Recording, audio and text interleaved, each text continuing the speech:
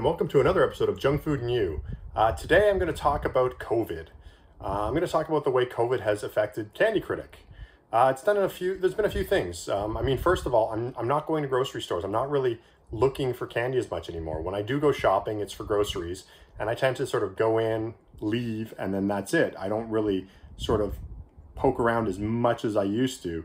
Um, I still go through the candy aisles sometimes and I still see what's around. And if there's something new or something that I haven't reviewed, I will pick it up. But for the most part, I don't really hunt stuff out as much anymore. So, I mean, I'm just, I'm reviewing less right now. So fortunately, I have a bit of a backup of stuff. So that's, that's good. And like I said, every so often I do pick something up to kind of try out. And I've got a list of sort of classic treats lately that I've been reviewing um, and that I've been looking at. So they're the ones that are always there. But uh, the other thing I've noticed is just that candy stores and specialty shops just aren't open anymore. And if they are, it's for curbside pickup only. So it doesn't really give me the opportunity to sort of browse uh, candy stores anymore, which is something that I used to like to do, and then sort of pick up a few of, of here and there and sort of try new things. So it's just, it's, I have to sort of, if I get something from a candy store, from a, you know, I have to know what I want because I have to order it ahead of time. So it's a little bit more difficult. Um, online ordering is of course an option too, but the problem with online online ordering is you often have to order in bulk. And while it may seem like I eat like a ton of candy, when I get a lot of stuff, I just tend to get one or two. I don't get like a case of something and then to review it. I only need like one or two to actually review it and enjoy it. So I'm not like the type that will go online and buy like a case of O. Henry bars because, you know, even if it's a new type of O. Henry bar or whatever chocolate bar I'm getting, uh, just because I just want one to try, and then after that, I on to the next thing. So I don't tend to order online, and so that's that's really limiting me. Um, there are a few stores that do sell sort of like make your own basket or like you can order stuff. But again, it's the thing about that is you're sort of online. You're not really something about the browsing and the, the sort of looking at it and, and all that that that goes away when I'm online. And there's so many shops that offer stuff, and a lot of them offer seem to be offering the same sort of thing uh, there's not really that many special. Like people are looking. For, I, I guess the market right now online is for like nostalgic and things that make you feel good, and not necessarily new and interesting things. So although I mean some things that make some people feel good are new and interesting to me because I've never tried them, it's it is sort of limiting. Like and I also feel like candy companies are, are limiting. I, I get the feeling that it's only the big companies now that are producing specialty things right now. Um, I get the feeling that a lot of the smaller companies aren't producing new things, and if they are, they're not really distributing them far because it's expensive. Again, shipping, it's a whole new logistical thing that you have to deal with when you're dealing with candies and, and sending them overseas and shopping for them. So I'm just finding that, you know, it, it is a different sort of shopping game. Uh, also, I mean, I used to travel a lot more uh, for like almost the last year.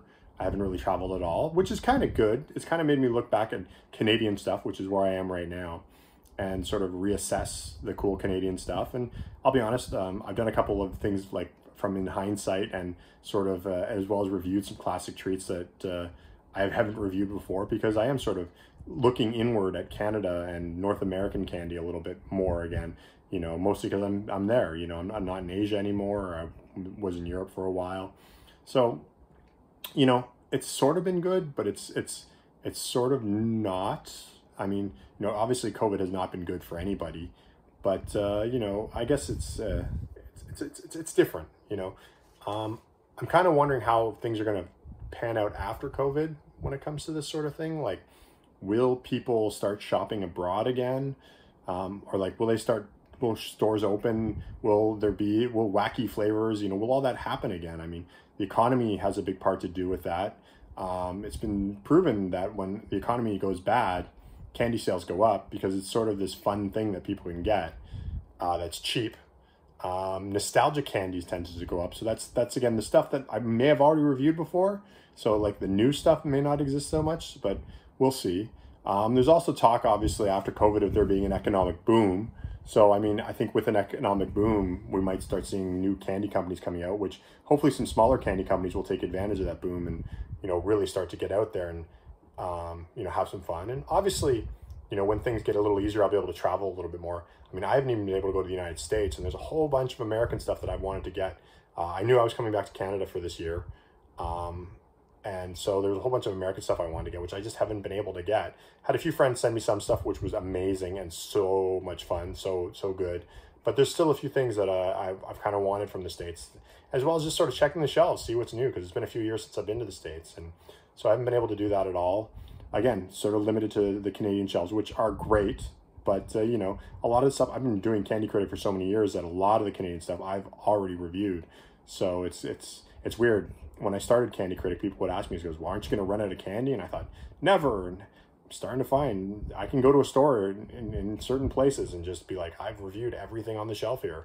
Um, I'm starting to get to the point now where I review M&Ms and Kit Kats from different countries. So it's the same bar, but just from a different country, which I'm finding differences. So it's interesting, but it's like, that's sort of the next level of detail. You know, it's not just M&Ms, it's, you know, M&Ms from Europe, M&Ms from Canada, M&Ms from the States. So it's, uh, it's, it's kind of peculiar, but I'm just finding it's, uh, you know, let's, let's, I'm looking forward to COVID ending, obviously, as everybody is, but uh, I'm also looking, using it to look inward at uh, Canada and the place where I'm from and, and see what, what we have there. But, you know, as always with, with Candy Critic, things are going to definitely be changing at some point and, you know, things will get back out there. I'm not running out of reviews. I've had a huge uh, collection of uh, reviews, so I tend to review, like when I get stuff, it's often I get it in big groups um, which I'm also doing because I'm shopping. When I go shopping now, I buy like, you know, five or six candies instead of just one to try because, you know, I don't want to be going to the store a hundred times because, you know, staying home as much as possible. So, um, so I'm sort of dispersing it out slowly and, and, and everything like that. Also doing a whole bunch more videos because I'm kind of getting experimental and having some fun with it. So uh, make sure to check, keep an eye out for that. Like this video here. So, you know, obviously if you're watching this on YouTube, uh, check out some of our past stuff and keep an eye because we're gonna have some future stuff that's coming up that's kind of fun. Um, but all I hope is, I hope COVID, I hope afterwards we get a an interesting, I hope we, I hope Candy uh, changes because that's the best thing I like about Candy and I hope we get some new stuff happening. So uh, thanks for watching this uh, sort of quick editorial of what I'm doing during COVID. Obviously, uh, if you go to at Candy Critic on Twitter um, and you follow us there, you can keep track of all the stuff we're doing, uh, including finding the Canadian stuff that we're doing. And maybe when things start to expand and we get to go back out, you'll be able to keep an eye on that. Um, and if you know if I happen to get stuff from people that send it to me, you'll see it there on our on there. You can check out our other social media at uh, candycritic.org and just link, look for links to all our social media, including Instagram and uh, uh, Facebook and things like that. And I, I, post all pictures of new stuff that I find there and all that. Um, you can also go to our Patreon page, patreon.com slash candycritic, and there you will find uh, extra bonus content and all kinds of cool stuff like that, including in the near future, I might be giving away a really old package of Dubble Bubble. And so I'll probably be giving away some, one pack of it on our social media, but our uh, Patreon followers have more than one. Uh, so our Patreon followers are going to have one exclusively for them. So the, the odds of getting that are, are much higher if you're if you follow us on Patreon. Um, and as always, uh, check out our micro comic snack facts. We're wrapping it up right now. Not sure if it'll be finished by the time this video gets on there, but it'll be close to it for sure because, well, I'm close to it now. So I'm just finishing up the last few issues right now. So you will be able to down digital downloads of that at some point, And we're hoping to have physical copies too. So uh, you'll be able to get that, and maybe have some signed copies and things like that. So thanks for watching this episode, and we'll see you next time. Bye.